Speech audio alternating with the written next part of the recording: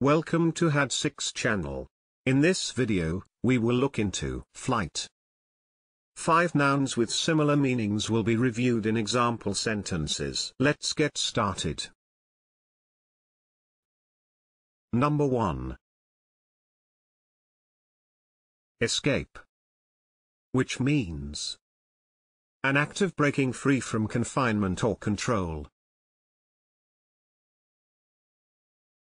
Escape. For example, the gang had made their escape. Number 2. Exodus. Which means a mass departure of people. Exodus. For example, the annual exodus of sun-seeking Canadians to Florida. Number 3. Departure.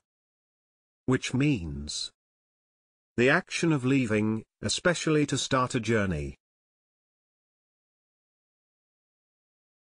Departure. For example, he thought of a ploy to delay her departure. Number 4. Retreat. Which means an act of moving back or withdrawing. Retreat.